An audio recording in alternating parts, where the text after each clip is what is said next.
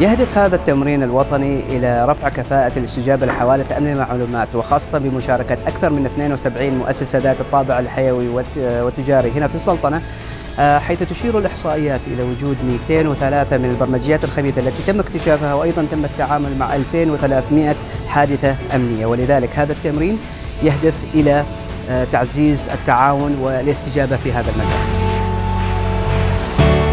أنا كانت مشاركتي النهارده على presentation بعنوان IoT security and privacy challenges كان بتتكلم على أهم التحديات اللي بتقابلنا عشان نأمن أنظمة إنترنت الأشياء سواء في من ناحية التامين ال security أو من ناحية إدارة الخصوصية وبيانات الأشخاص اللي هي ال personal identifiable information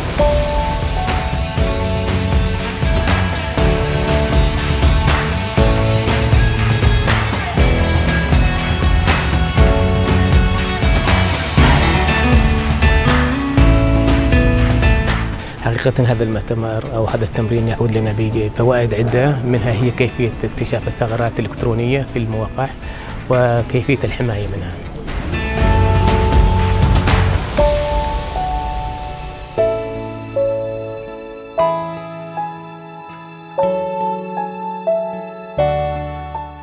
الدورة تضمنت جانبين التطبيق العملي والنظري.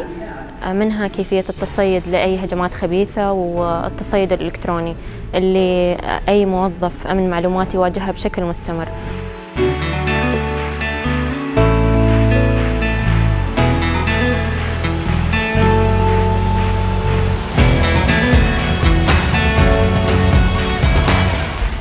أول مرة أشارك في التمرين الوطني الخامس للأمن السبراني.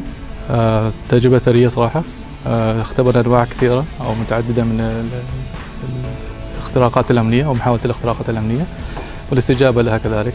أه وأشجع يعني جميع المؤسسات الحكومية وخاصة المؤسسات البنية التحتية أنهم يشاركوا في هذا التمرين الوطني.